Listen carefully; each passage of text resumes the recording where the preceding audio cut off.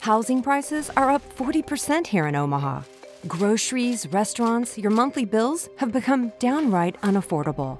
And if you think it's bad now, Joe Biden and liberal Tony Vargas want to spend billions more on welfare and handouts for illegal immigrants. Don Bacon says no more. Leadership on the issues that matter most to Nebraskans, the courage to hold both sides accountable, and make life affordable again. General Don Bacon for Congress.